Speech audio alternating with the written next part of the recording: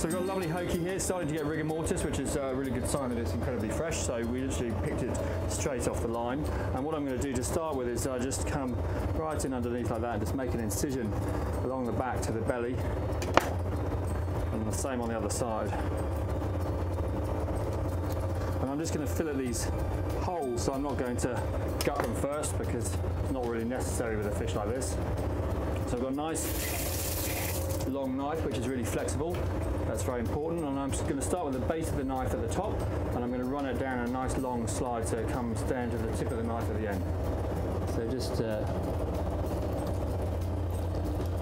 top of the backbone, running it all the way down in a nice long thing. You're making nice long strokes as opposed to jagging about like chopping a bit of wood.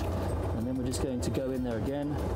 And you're basically sort of peeling back the meat. You're peeling back the meat from the, the bone structure.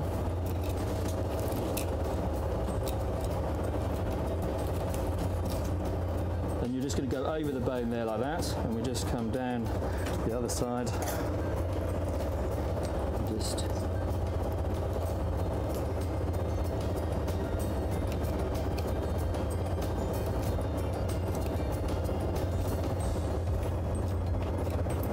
And we'll trim it up all in, in just a second, but it's a good idea to get rid of all the, uh, the kind of big, big parts of the fish first.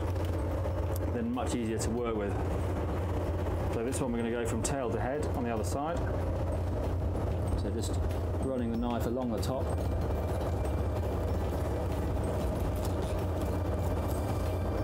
And then we just literally just peel the we use a kind of slow sliding motion with the knife so that it's just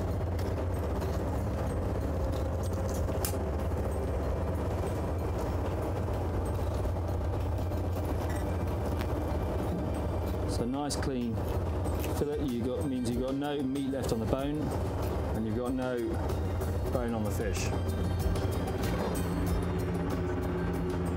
take your fillet like that, slide in underneath, okay, and then you just angle the knife downwards, pulling tightly with this hand, and then sliding the knife this way so that you can just remove all the skin. Where are we? All the skin in one go, skin can be used for something else.